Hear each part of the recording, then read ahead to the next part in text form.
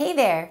Would you like to learn a really quick and easy vision therapy exercise that's going to help with the skill called convergence?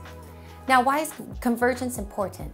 Well, when we read or look at our phone or even use the computer, our eyes must come together to look at the word that we're reading. If our eyes are not coming together exactly aligned, but maybe they're slightly off, that can cause symptoms like double vision or blurry vision. This is really important because we see a lot of kids that struggle with tired eyes or a little bit of blurry vision when they're reading because their eyes can't stay postured in the right direction. So this is an excellent exercise to work on that skill. What you're gonna need is you're gonna need a pencil. I have what we call an alphabet pencil. We use this in vision therapy, but a regular pencil at home will work just fine. What you're going to do is you're going to put your pencil out at arm's distance. Now this is our target. When we do this exercise, we want our right eye and our left eye focused on the tip of our pencil.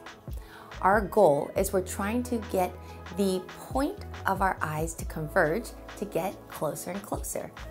Now, in cases like convergence insufficiency, they might only be able to bring their eyes together out here. Now that's not very helpful because that means that your eyes can really only read out here, but if you bring it here, it's too much work for your eyes and your eyes are gonna get tired. So the goal is to bring that point of convergence a little bit closer.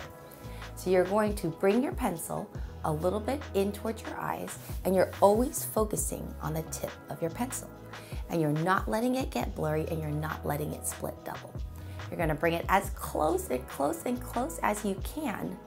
Once you feel like you can't come any closer, try to hold it there for five seconds and then try again. So you're gonna go from to the back, you're gonna bring it closer and closer and closer. And when you're at the point where you can't get any closer and you can just keep it together, hold that for five seconds. One, two, three, four, five. You're going to keep doing this over and over again.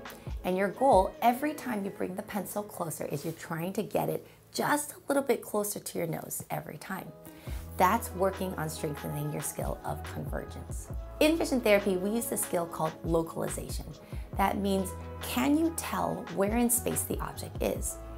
If you think about here, how much space is between the pencil and me? If you can think about that space compressing or getting smaller, you'll actually be able to get the pencil closer to you. So think of this, you're bringing the pencil closer and closer. Now squeeze, squeeze, squeeze that space in between and you'll be able to get the pencil a lot closer to your nose. Now when you do that, if you feel a little pinch or a little strain here, that's okay. That's your eye muscles working. It shouldn't hurt, but if it feels a little bit tight, you're engaging your muscles in the right way. Go ahead and try the pencil push-up exercise yourself. You're going to try to bring it out and bring it slowly towards your nose. Do it for a series of five times, five repetitions. And remember, every time you get it as close as you can to your nose, try to hold that point for five seconds. So go ahead and try the pencil push-up exercise at home. It's again a very classic vision therapy exercise that can be done with a simple pencil, but it's working on that skill of convergence. I hope your eyes feel stronger after this exercise. If you have any questions, leave us a comment below or visit our blog at insightvisionoc.com. See you next time.